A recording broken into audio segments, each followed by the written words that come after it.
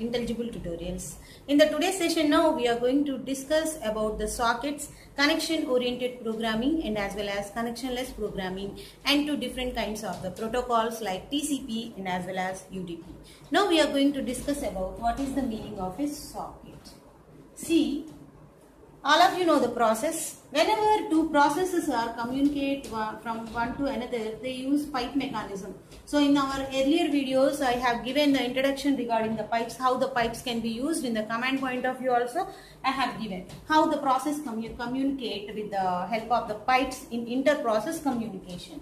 So in the same manner, whenever an application is running on different machines, this is the application one in client machine. The same application is running on the server machine. How these two can communicate? These two can communicate with the help of a construct called socket. Okay. This is a construct that can be used by the client machine